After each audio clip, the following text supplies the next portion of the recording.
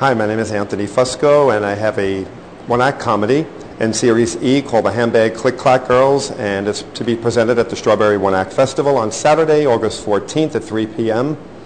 For tickets, go online at www.therianttheatre.com or call 646-623-3488. My play is a 20-minute comedy basically about three girls shopping in Soho and all the issues about love and internet dating and getting older. It's kind of like the Sex in the City meets the Golden Girls.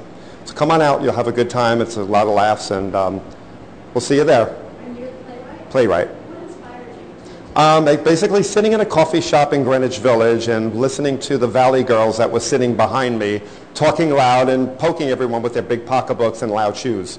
So I've always been inspired to write a comedy about something like that. And a friends pushed me into doing it. And I was, this is the time to do it.